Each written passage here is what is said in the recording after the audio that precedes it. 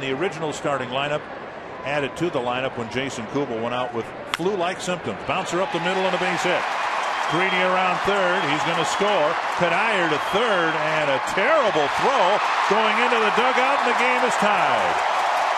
Coco Crisp airmailed the throw over the cutoff man over the third baseman and just like that the game's tied.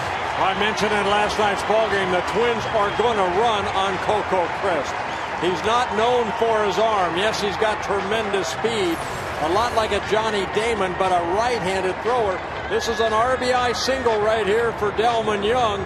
And then Coco Crisp, as Michael Cuddyer does not stop.